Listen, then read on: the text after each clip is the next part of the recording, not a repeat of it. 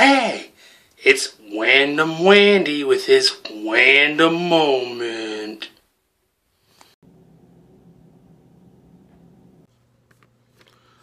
What's up, YouTubers? It's Wandom Wandy. You know. And, you know, after after you guys have seen a few of my videos, I've got some funny stuff. Some didn't really hit the mark, but I still laughed making it.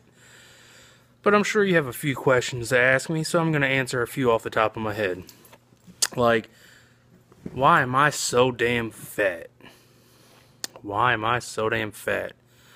Because you see, as a kid, between exercising and eating, eating one.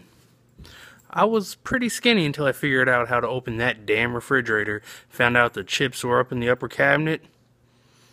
Yeah. Yeah. Chips are better than the mile run any day any fucking day. I love some chips, love some cupcakes, and I love some fucking cookies. Mm.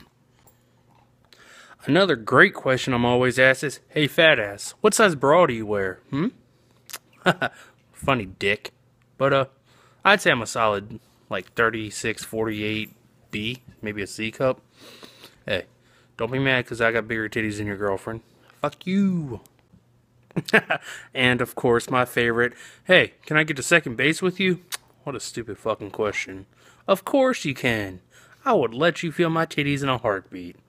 Why? Because I love the attention, and I'm a dirty little attention whore. Yes, I am. So, steal second, I'll even let you get to third if you're lucky. Hmm. I don't always give out on the first date. Well, yeah, yeah, I do. I, am a whore, okay? You can get the first, second, third fucking home run, grand slam my ass if you really want. Whore, whore, whore. Got you watching though, didn't it?